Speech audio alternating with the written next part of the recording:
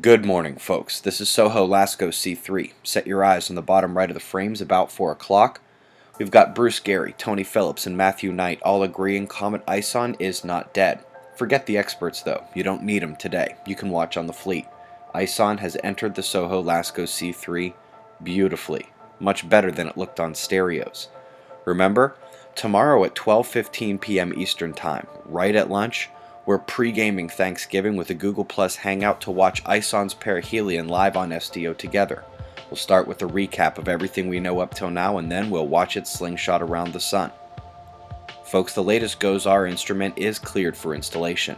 Can't believe we still have two years to wait for that beauty to fly to the heavens. Good article out of New Zealand here discussing why the earthquakes felt there feel more powerful than usual. Top recommendation for locals. Last 48 hours of the eastern US here.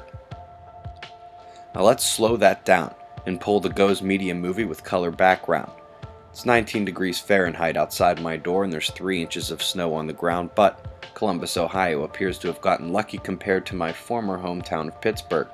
One thing about a large snowstorm blanketing the skies over this large of an area is that if a major fireball, say, were to come, nobody would be able to see it. That appears to be what happened. Flashes illuminated the clouds, booms could be heard for hundreds of miles, and in some places locals ran outside fearing earthquakes. We're going to keep it with the RSOE and head to South Africa. We have a mass bird die-off, but this time we know the cause. It's an intentional poisoning and beheading. Some locals apparently believe the brains of those birds bring good fortune, trying not to throw up. Buoy in event mode near South Bali, Indonesia, the most active volcanoes in the world, not a major jolt, but right next to the now missing buoy which starred in disturbance under the ocean. If you are unfamiliar, I'd Google that today. Top weather watch does remain for the Indian coastlines. Lehar approaches with a full tank of gas. Solar wind elevations identified last night trailed off nicely and the stability is absolute in our magnetic field. Then we come to the X-ray flux. No solar flaring. And if you just look at the departing groups, you can't expect that to change. But look at the last 36 hours of the southeastern quadrant of the Earth facing disk.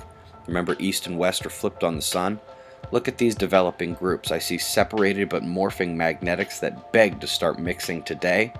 And that's even before you come to the limb and see the beasts cresting now. Dear classifiers at NOAA, the double positive lead indicates that's twin sister spots cresting together, not one big one. The northern departing coronal hole strengthened while the equatorial bit appears much weaker. This occurred as the larger magnetic fields began to close up even more tightly above that opening.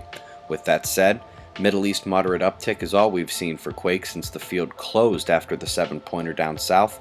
Shots of our star and the weather to close, eyes open. No fear, it's 6.30 a.m. Eastern Time and that's the news. Be safe, everyone.